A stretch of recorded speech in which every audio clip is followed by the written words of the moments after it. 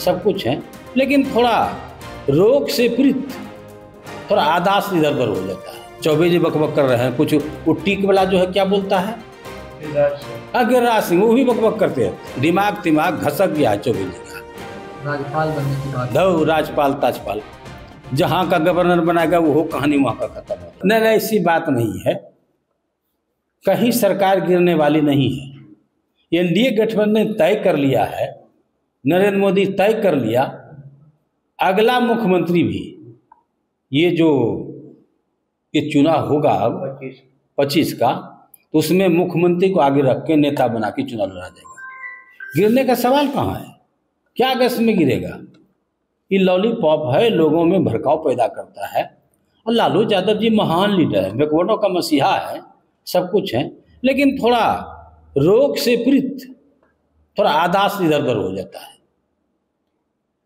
लेकिन है। बार बार कहते हैं कि भाजपा के नेतृत्व में चुनाव लड़ना चाहिए जदयू से। अश्विनी चौबे सब क्या है? भाजपा के नेतृत्व में लड़ना चाहिए। भाजपा का स्थान है यहाँ कहाँ? बिहार में क्या है भाजपा की पहचान? ऐसे बकबक करता है। चौबे जी का आदत है बकबक करने का। चौबे जी बकबक कर रहे हैं। कुछ वो टीक वाला जो है क्या बोलता है?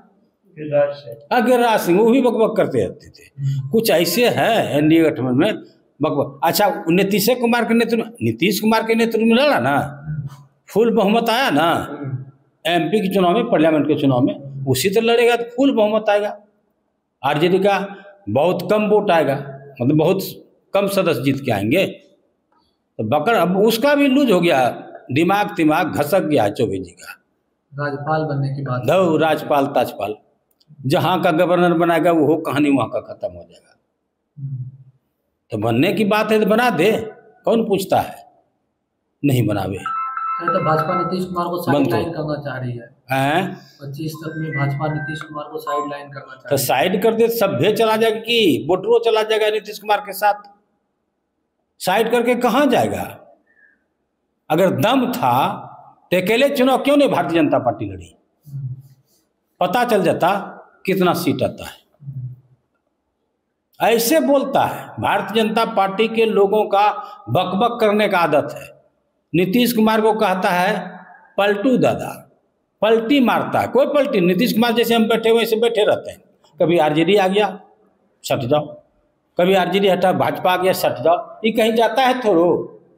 अपने सटता है। बिहार में इनका वोट है ना। नीतीश जी के पास ही आना पड़ता है हाँ सब कोई कहीं जाता नहीं कहता पलटू मारता है।